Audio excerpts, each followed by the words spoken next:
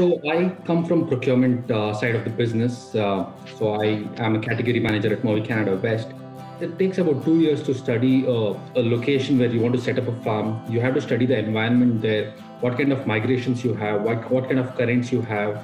We are very sustainable in our processes. We make sure we don't affect any other form of species in the ocean, and that is confirmed by the Cohen Commission. So, if the government does not give us time, I don't really think there's much we can do salmon farming is not what it used to be 20 years ago. It's not even what it used to be two years ago. And I can confidently say it's not even what it was three months ago. It's constantly evolving technology. Millions of dollars are spent around the world just to do research and how to grow salmon in a more healthy manner. How do you not impact the ocean? What are the sustainable aspects that Mowi employs in place?